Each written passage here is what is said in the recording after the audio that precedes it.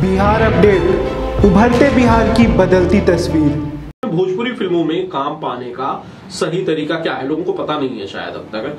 ठीक है? उनके लिए कैसे? उन, उन, उनका जो रास्ता है वो आपके इस केबिन तक कैसे बनेगा? देखिए ऐसा है इसके लिए मैंने उदय भगत से कल कॉन्टेक्ट किया। मैंने ऑफिशियली उनको हायर किया।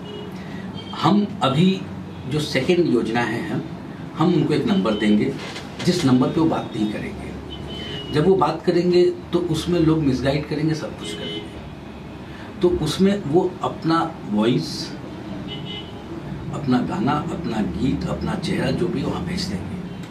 उसकी शॉर्ट लिस्टिंग हम कर लेंगे कि सबसे पहले हमारे कैरेक्टर देखिए, हम ऐसा तो किसी को नहीं बोल रहे हैं कि हिंदुस्तान से हमारा कोई टैलेंट हंटिंग नहीं है, कि आप पाँच रुपए का एडमिशन फ़ीस भरी और टैलेंट हंट कीजिए और उसमें पचास लाख लोग जमा हो गए, हमने पाँच करोड़ रुपए जमा कर लिया, उसमें से पचास लाख की फ़िल्म बना दी। इट्स नॉट लाइक दैट हम कोई टैलेंट हंट करने नहीं बैठे हमारे पास दो फ़िल्मों में, दो फ़िल्मों के लिए हमें सिर्फ़ पंद्रह से बीस लोग ही चाहिए।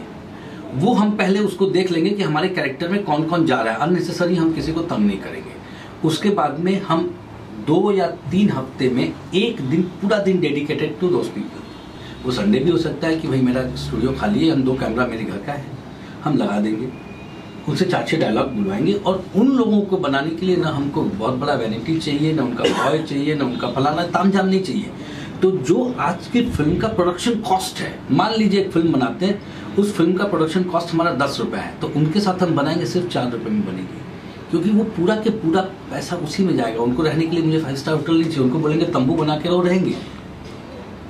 हम तो फ़िल्म बना रहे हैं ना, उनके लिए एक प्रोडक्ट बना रहे हैं। और हम अगर ये बोलेंगे, हम उनके ऊपर एहसान कर रहे हैं तो ये गलत बात होगी। हम एहसान किसी पे नहीं कर रहे हम एक नई चीज़ बना रहे हैं जिसका फ़ायदा हमें मिलेगा और उनको तो मिलना ही मिलना है। जी।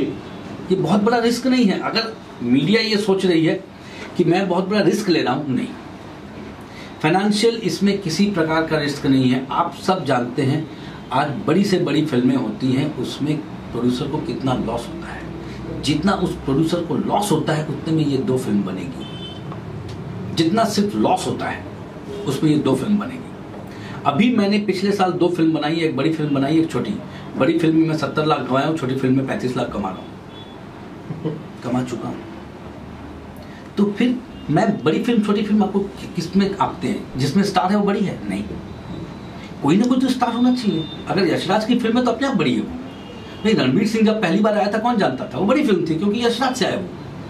हमारे यहाँ से हमने, हमारे यहाँ से हमने मनोज पांडे की फ़िल्म कही थी, लहरिया लूटा राजा दैट क्योंकि राजकुमार डायरेक्टर था आदिशक्ति प्रोडक्शन थी वो। तो आदिशक्ति तो अपने आप में एक स्टार है ना, हमने आज चालीस साल मेहनत करके एक ब्रांड बनाया है। हम ये तो नहीं बोल रहे कि नए कलाकारों के साथ नए प्रोड्यूसर भी दे रहे हैं, नए डायरेक्टर भी दे रहे हैं, नहीं। प्रोड्यूसर और डायरेक्टर बहुत बड़ा स्टैब्लिश कंपनी है। तो दो स्टार तो सर है ही ना।